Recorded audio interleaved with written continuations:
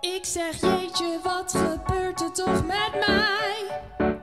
Heb ik nu alweer een losse tand erbij? Ik weet niet hoe, maar had er al twee op een rij. Voel me onrustig, maar ben stiekem ook best blij.